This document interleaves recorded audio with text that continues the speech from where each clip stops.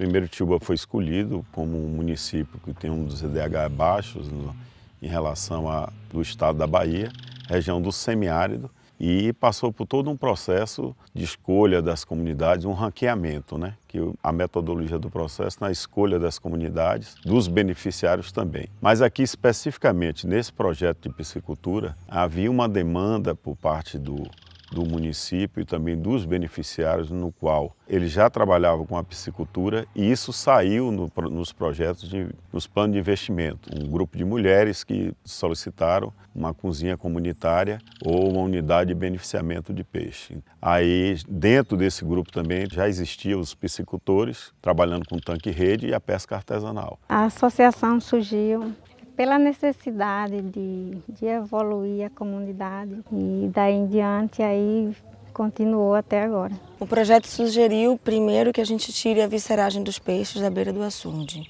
Com a construção da unidade modular, a visceragem será feita na unidade modular. A segunda mudança sugerida é que a gente consiga fazer a legalização para que eles usem o açude. Eles usam hoje o açude de forma legal, eles não possuem outorga, que é o documento da legislação ambiental que permite que o açude seja usado. Outras que poderão vir serão à medida que eles forem se apropriando né, da unidade modular, que como o próprio nome já diz, por ser modular, ela tem capacidade de ampliar e de atender a outras necessidades que a comunidade tenha. A unidade de beneficiamento de pescado que vai melhorar muito, não só para esses projetos, mas sim também para a pesca artesanal, o peixe da pesca artesanal, que vai ser cuidado aí na unidade e não mais poluindo aí o açude, tratando de qualquer jeito no peixe do açude. Nossos pais foram e são pescadores e a gente já cresce nessa profissão. Desde pequeno vai todo mundo para o rio, pesca, porque o pessoal daqui vive da pescaria, né? Então não tem como a gente fugir para outro lugar. Se quer ficar aqui, então tem que fazer isso. Os tanques eles são numerados, né? Cada quem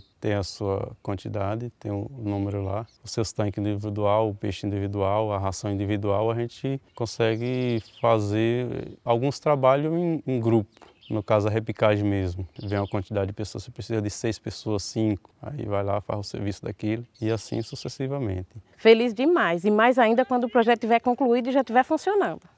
A, a, gente, todo, a expectativa, sabe, da gente é muito grande. Não vê a hora de estar tudo pronto. Eu já fico imaginando, sabe?